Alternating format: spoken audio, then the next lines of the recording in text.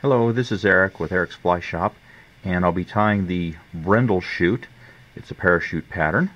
This is a size 12.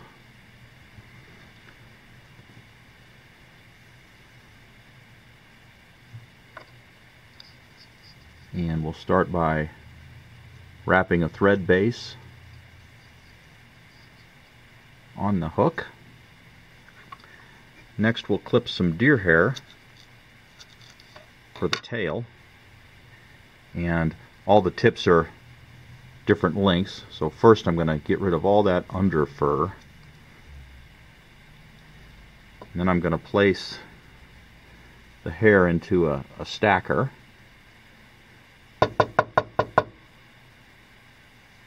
Now they'll all be the same length. And I like to measure that tail to be the length of the shank. Go ahead and tie that in.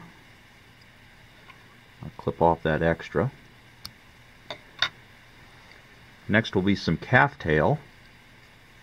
To advance the thread to about the two-thirds mark.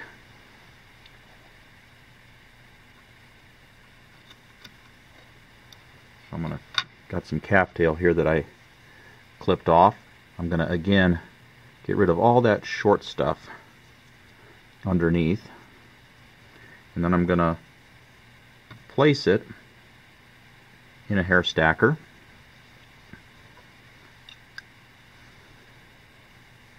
If your calf tail is straight enough you will be able to stack it. And since the tail was facing that way that's how I took the hair out. But the wing, being a parachute, I'm going to tie facing forward. So I'm going to remove the hair this way. Now I don't have to switch it around in my fingers. I'm going to measure that to shank length. Tie that in.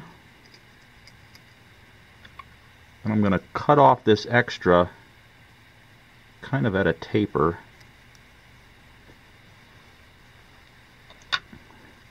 and tie that down. That'll make a nice smooth body. Now I'm going to try to stand that wing up. I'm going to wrap once, a couple wraps of thread, pull, wrap a whole bunch in front. That'll help to stand up that wing. A couple more wraps. And then I like to wrap around the hook. That helps to anchor it in place. And then I'm going to make lots and lots of wraps That'll give me a good base when I wrap the hackle.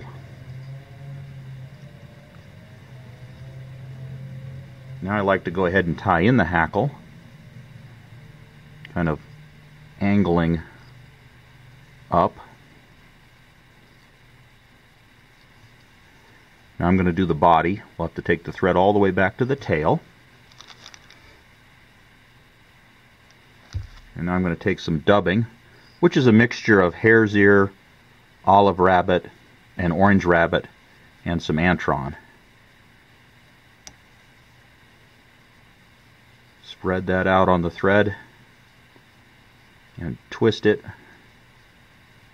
tightly. Now I'll go ahead and wrap that body forward.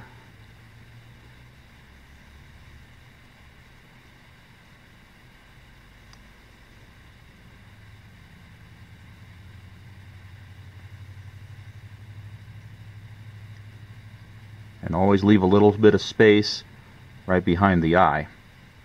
Now we'll go ahead and wrap the hackle around that parachute post.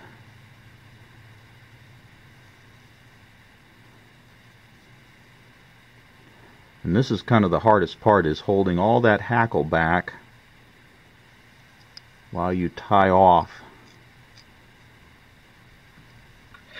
And we'll go ahead and clip that close. And next we'll do the whip finish. Again you got to pull all that hackle back. Make your whip finish. We'll cut the thread. And now we'll put a drop of head cement right on the head. And then I also, for parachute patterns, I like to take another drop and put it right on the base where that hackle meets the post. And there's the completed brindle chute.